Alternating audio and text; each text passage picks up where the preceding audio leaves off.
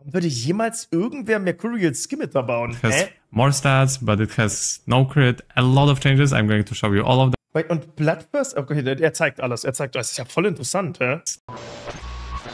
Preview. Hey guys, Ja. Dann schauen wir doch mal zusammen. yesterday in my mid-season video, I showed you the changes to some of the rooms and new items coming to League of Legends and all the changes to marksman items. Das Most ist echt crazy, ne? Dass AD Carries jetzt wieder die 25 Crit kriegen. Ähm, ich kann das also wirklich sehr, sehr schlecht einschätzen. Zum Beispiel bei Phantom Dancer jetzt. Der gibt ja aktuell, gibt ja doch auch AD. Der gibt ja dann nur noch super viel Attack Speed jetzt mittlerweile.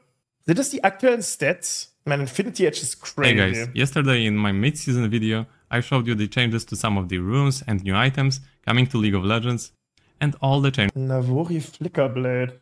Was? Crit Attack Speed. Auch kein AD, ne? Das kann doch nicht stimmen, oder? Die Items. Geben die alle kein AD? Legends and all the changes to marksman items, mostly the crit ones. Today I'm going to show you all the changes to boots, and they are pretty big, and changes to the tank items, as they are pretty significant as well. Also some changes to the Geben alle Crit-Items kein AD mehr? What the fuck? Wie zur Hölle sollst du denn dann äh, GP spielen? Wait, what? Das ist ja super bad für AD Carries, oder nicht? Oder ist das ein Bug hier? mostly the crit ones. Today I'm going to show you all the changes to boots, and they are pretty Gaben big, die noch nie? Na klar, die. Mate. Mate, äh, Navori gibt aktuell, äh, ich glaube, 40 oder 50 AD. Phantom Dancer gibt AD. Rapid Fire Cannon gibt AD. Die werden ja auch alle aus AD-Komponenten gebaut. Aber lass uns erstmal den ersten Teil davon anschauen. Ähm, bevor wir mit dem weitergehen, weil hier irgendwo hat er die AD-Items erklärt, ja. Hey guys, we Schau have some rein. absolutely massive news. A lot of changes are coming to the PBE. Lethal Tempo is getting removed, for example. Crit Mm-hmm. items are gonna have 25% crit instead of 20. Then we also have changes to the Ghost. Riot thinks Ghost is too good. We even have some new added items to the game. Mhm. Almost every single marksman item got changed. As you can see, for example, here, Phantom Dancer no longer has AD. The values got changed all over. For example, Mercurial Scimitar has lifesteal now and doesn't have crit anymore. And then you have Bloodthirster that Warum würde jemals irgendwer Mercurial Scimitar bauen? has Hä? more stats, but it has no crit. A lot of changes. I'm going to show you all of them. Wait, und Bloodburst? Okay, der- er zeigt alles. Er zeigt alles. Das ist ja voll interessant, hä? No crit. A lot of changes. I'm going to show you all of that in this video. weniger AD? So weil die per tuned. Level-Ding So let's fehlt. get started with Riot's article. Leiser? Okay, sorry. in here they discuss the changes So? because currently we're getting the mid-season changes the season is divided into three splits so right now with the split 2 riot is doing medium-sized gameplay changes they are currently live on PBE but they will hit the live servers in just two weeks so you better get familiar with them let's get started with rune changes so as you can already see here lethal tempo has been removed in its place we didn't get a new keystone but we have press the attack that has been changed so right now press the attack works until the end of the combat. So when it procs after three attacks, it will last until the end of the combat.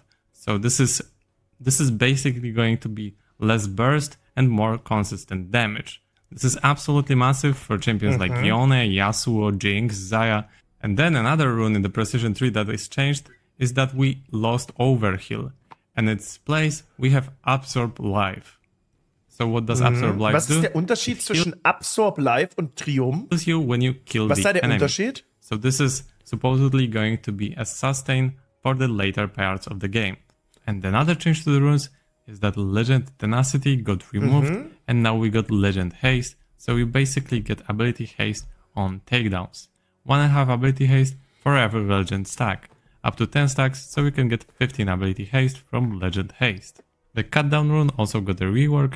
Right now it does 8% more damage to champions who have more than 60% Das wäre echt cool, wenn er die alten Values dazu schreiben würde, oder? Weil ich, ich weiß nicht, also wie es euch geht, aber ich kann so aus dem Kopf, kenne ich die, die exakten Values nicht.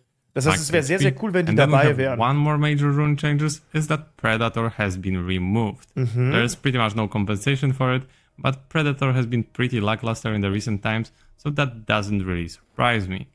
There are also some more rune changes. The Ingenious Hunter has been removed, and we also got plenty of the changes to the Inspiration tree. So we now got the new rune cashback.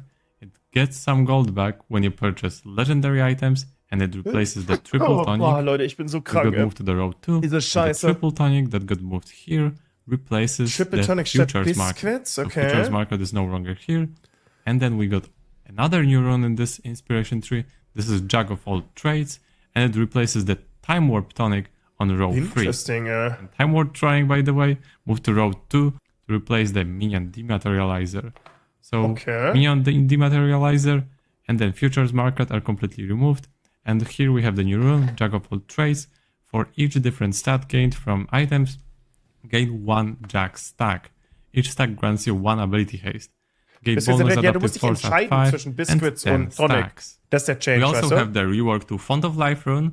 So when you disturb the enemy of enemy champions, you can restore health to you and your nearby allies with the lowest health.